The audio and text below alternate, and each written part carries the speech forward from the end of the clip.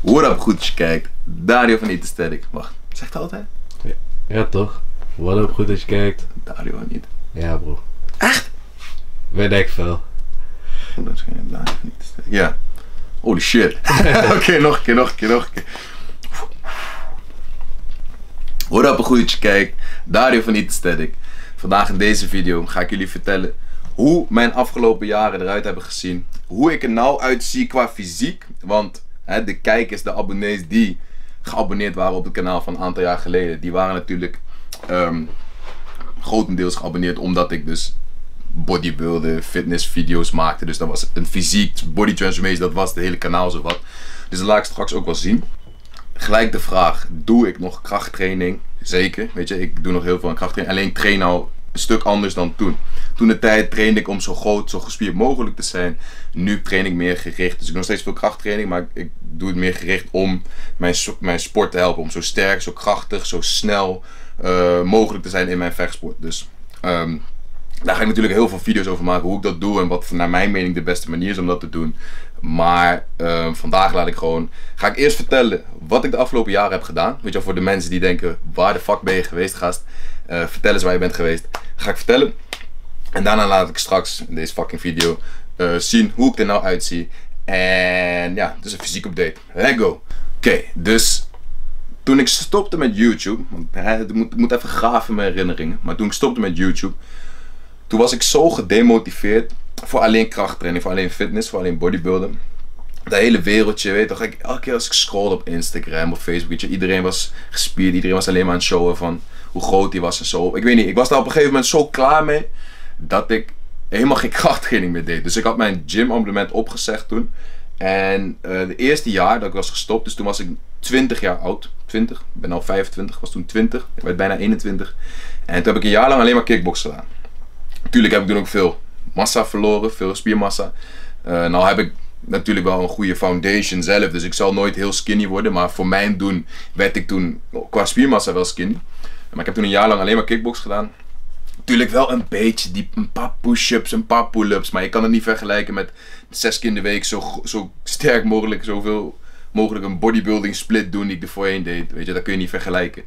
Um, op een gegeven moment was er bij mijn kickbox trainer, weet ik nog wel goed dat moment, kwam een guy trainen die MMA deed. Uh, hele aardige gast.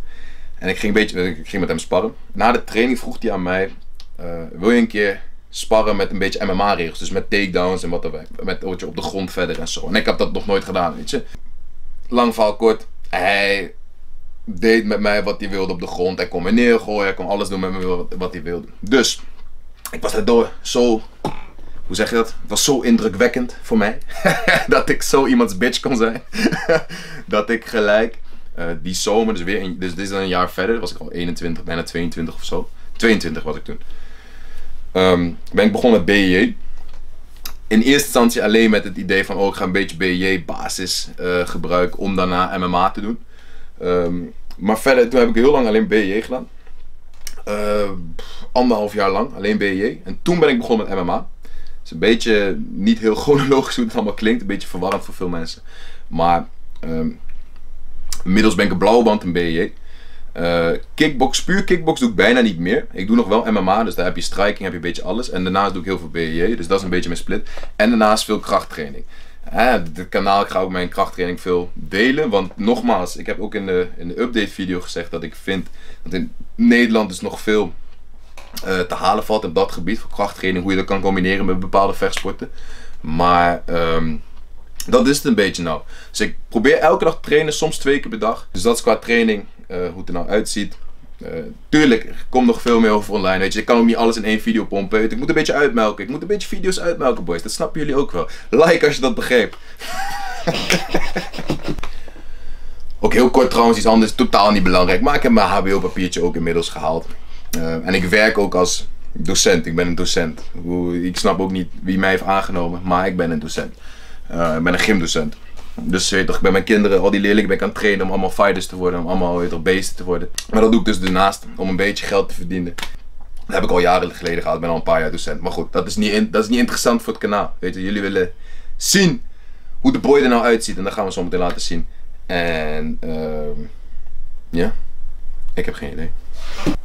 Oké. Dus ik weeg nou 92 kilo. Ik ben al een paar maanden dit gewicht. Dat komt, ik heb binnenkort een paar toernooien BJ. Ga ik ook filmen. Uh, dat moet je min 94 zijn. Uh, dus ik blijf, probeer op gewicht te blijven. Uh, nogmaals, ik ben natuurlijk niet meer zo gespierd als toen. En ik had nou een stuk gespierder kunnen zijn als ik nog jaren zo had doorgetraind. Maar mijn trainingsroutine is nou anders. Ik train niet meer puur alleen maar voor massa, maar ik doe heel veel oefeningen ook om dus gericht vooral BJ of MMA. Dus, hè? Maak me niet kapot in de comment section. Weet toch, zeg niet, oh Daddy was echt kippie geworden. Hij is echt chicken bro. Hij is helemaal niks meer. Wat een kip. Weet toch, en dan, toch, dan ga ik huilen, word ik depressief. Dus je toch, zeg, oh hij is echt groot man, hij is gespierd. Oké, okay. dus ik laat het even zien. Hè? Omdat we toch fitnesskanaal zijn geweest, moet ik het wel laten zien. Dus... Oké. Oh. Dat heb ik lang niet meer gedaan, boys. Ik zeg jullie heel eerlijk. Ik heb lang niet meer geflext. Want dat doen we niet meer.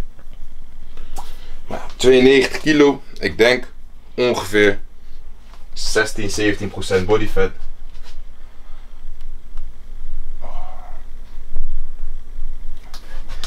Rubens, je moet ook een beetje de benen zien, bro. Ja, bro. Waar zijn de benen? Waar zijn de benen? Waar zijn, zijn de hamstrings?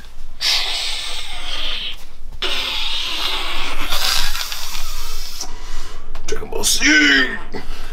Ik heb die shit nooit gekeken. In ieder geval. Ja, niet meer zo gespierd, niet meer zo groot. Dus ik was. Maakt niet uit. Volgens mij was ik in mijn toppunt bijna 98 kilo.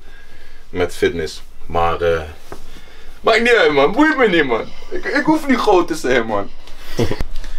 dus momenteel ik denk afgelopen jaar heb ik maximaal twee krachttrainingen, soms drie.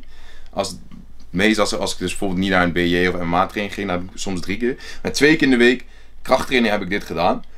Uh, je, moet, je begrijpt natuurlijk wel, het is best wel moeilijk om groter, sterker te worden met maar twee krachttrainingssessies in de week. En je bent ook nog de hele week bezig met boksen, BJ, al die shit. Want dat is natuurlijk uiteindelijk gewoon cardio. Dus als je de hele tijd aan het sparren bent, aan het rollen bent, aan het uh, even de pads aan het hitten bent, dat, dat is natuurlijk niet ideaal als jij zo gespierd mogelijk wil worden. Um, maar goed, het is best prima te onderhouden verder. Um, weet je. Volgens mij was dat het al voor deze video. Dus uh, voor deze de outro. Ik weet niet, liken mensen nog? Ruben, ik ga het weer vragen. Bro, ze doen het echt niet. Ze, ze liken niet. Ze liken niet eens, bro. Of toch wel? Bro, ik, ik heb nou nog niet eens gezien hoeveel views de eerste video had. Ja, dat, want ik maak nu de video op hetzelfde moment als de eerste video. Wil je hij heeft niet meer dan 200 views. 200? 200, waar gaan we voor? Is wel veel, man. 200 is wel veel. Denk 173? Oké. Okay. Hoeveel likes? 13. Bro, minstens Johan Cruijff 14. Minstens 14. Oké, okay, ik, ga er, ik ga er boven, man. 14 likes. Oké, okay, boys, like en geef Ruben ongelijk. Je weet toch, minstens 14. Ook deze video. En dan gaan we snel weer door naar de volgende. Want we moeten hier blijven filmen. We moeten blijven filmen. Je weet toch. Peace.